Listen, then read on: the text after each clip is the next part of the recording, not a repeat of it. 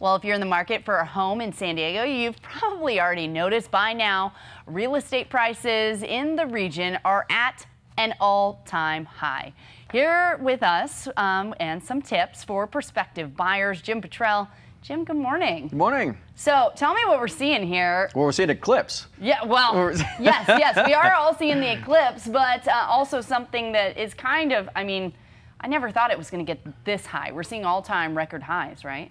Yeah, absolutely. We're seeing all-time record highs. Um, I've been saying since January of this year, you know, I came in here maybe 15 times where you guys had articles in the Wall Street Journal and Forbes and all these things saying same prices are going down and saying, no, they're not. Yeah. They've been going up and they're going to continue to go up and it's because there's a shortage of houses. Uh, we have a shortage of structures in San Diego County, and there's mm -hmm. such a shortage that builders are not going to get us out of it. Um, and then also you have from the, the results from that record historic once in a lifetime low interest rates, where people have, you know, 82% of people who have mortgages have an interest rate that starts with a two or a three. They know they're never going to get that again, so they're simply not giving that up. And the way you keep that, uh, the way you keep that interest rate is you keep the house and don't put it up for sale. So it is a shortage-driven uh, supply shortage is why the prices are going up, and that supply shortage is going to last for another five to ten years at least. Okay, so if you're a buyer, what do you do? Well, you know it's tough. I'm, I'm not going to lie to you. It's it's incredibly hard right now to be a buyer. Um, to, what you're renting at right now and what you'd have to pay to buy a house is is a big difference. But we know that rents never stop going up without limitation. Mm -hmm. um, my advice is the first-time home buyer. It's tough to say, but your first home is not your dream home it's never your dream home. It's a necessary stepping stone to get to your dream home. It gets you in the game, is what it is. Mm -hmm. So there's a lot of people out there that are saying, I can't afford to buy.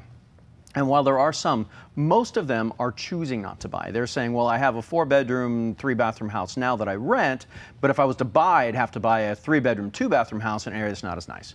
And they're choosing to maintain their short term renting lifestyle mm-hmm. versus moving into the long term owning lifestyle. And, and once you own that first home, you're in the game. You're immune, I say this all the time, you're immune to housing prices going up. In fact, you're cheering because yeah. you're making money while you sleep, right? Sure.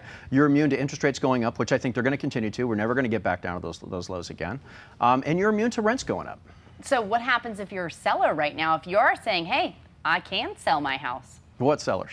Yeah. yeah. yeah, right. Yeah. There's not very many there aren't very many historic no. lows. Yeah, I mean, in September we had a record number low sellers. I mean, the last time we had that few houses transact was in I think 1984. Wow. Yeah, so there's just not a lot of sellers. But my advice to sellers right now, if you have a house that's listed under 1.5, you're in great shape yeah. uh, because there's a lot of buyers out there that have never, you know, they weren't around to see those super low interest rates. So this is all they know.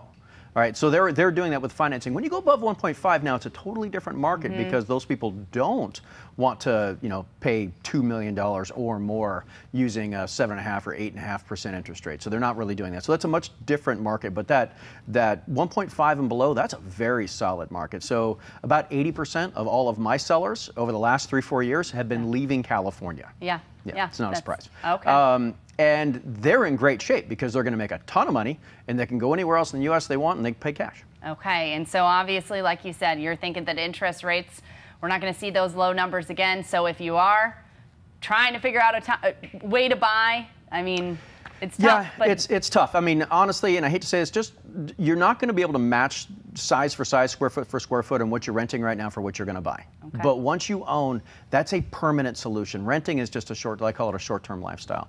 Uh, another thing is about savings. There's people that are renting right now, and they're saving, you know, a couple hundred dollars, three, four, five hundred dollars. When you own, honestly, you don't have to do that anymore because the house does it for you, okay. and it does it for you much better than you saving. Because remember, if you're saving dollars in a bank, that's after-tax money. Yeah. If you're if you're earning equity you know, the first quarter million dollars you make as a single person or 500,000 you make as a couple, that's tax free. Okay. So the savings is much more efficient when you own. Jim Bottrell, thank you for coming in. Thanks for having me. Breaking down the bad news for us. All right. Someday I'll have good news. yes. Jason, toss things over to you.